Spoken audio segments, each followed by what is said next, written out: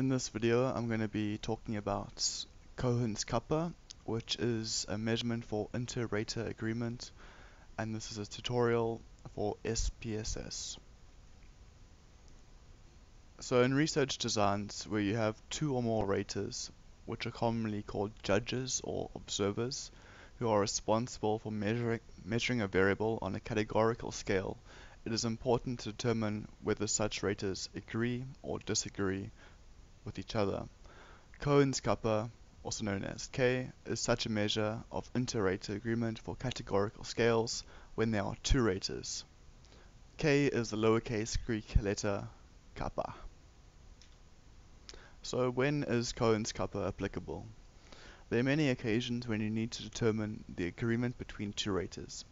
For example, you want to you may want to examine whether a graduate psychology student can make diagnoses similar to that of a qualified psychologist. Both the student and the qualified professional are asked to diagnose volunteers as having symptoms of major depressive disorder, MDD, and where displays symptoms and does not display symptoms are two categories of a nominal variable, shows symptoms of MDD.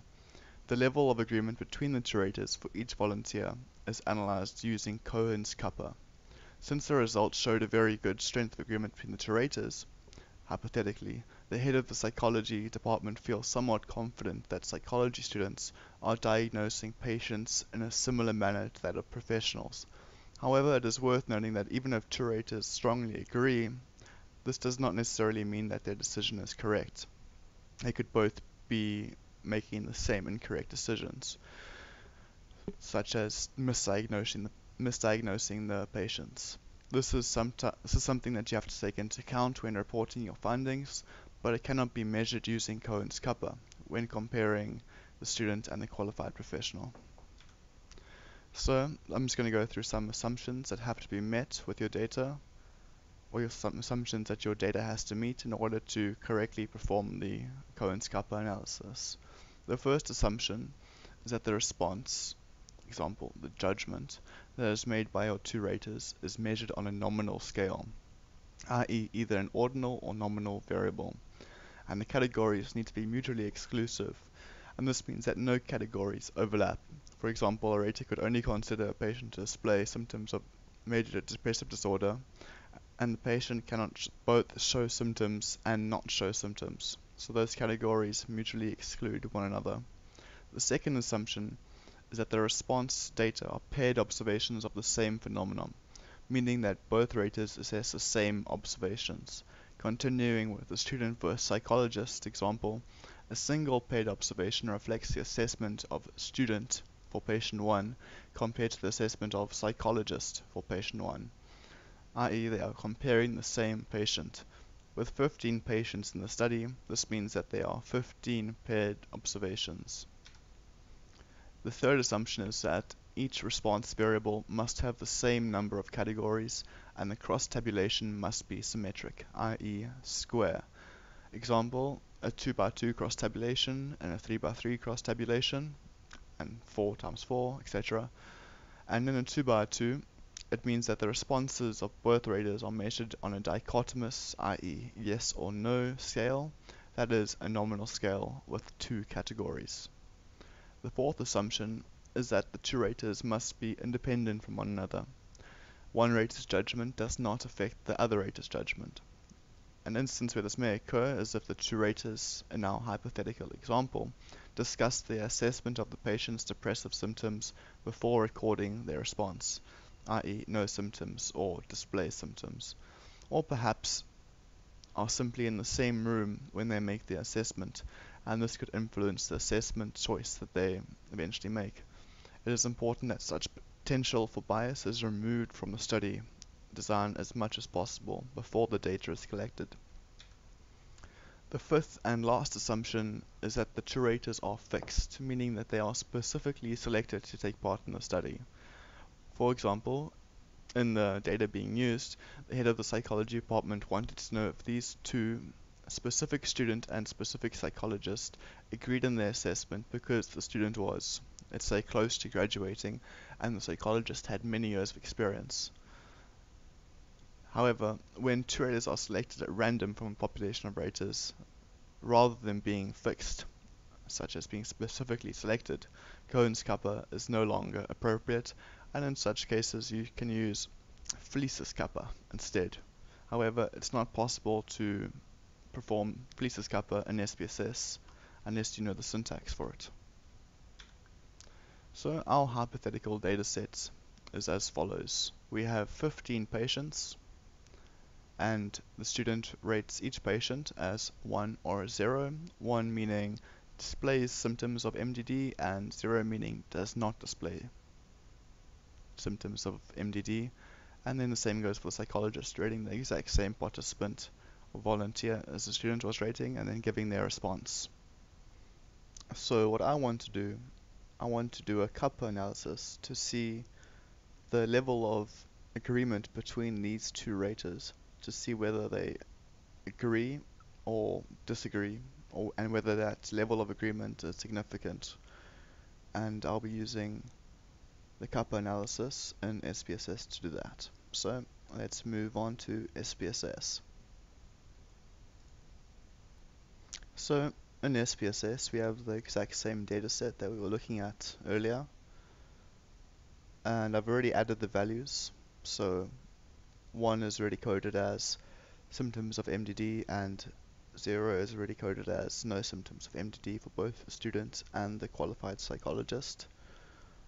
To perform the kappa analysis, we simply go to Analyze, Descriptive Statistics, Crosstabs, and here we want to put our two raters in either the row or column crosstabs. I like to put the, I don't know how to say, the more legitimate value or the more, yeah, let's just call it the more legitimate value in the column and then the comparison in the row and then next we go to statistics and you simply click on kappa. This will calculate the kappa statistic in conjunction with the cross tabulation additionally you can also go to cells and you can have the counts of the observed and the expected responses. And then you click OK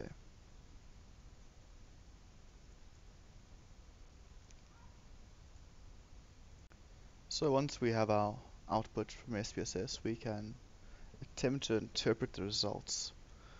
So the case processing summary, it just tells us that there are 15 paired responses and nothing, no data is missing from either paired responses. This cross-tabulation tells us the where there was agreement and disagreement in the responses. For instance, there's above expected agreement for no symptom classification.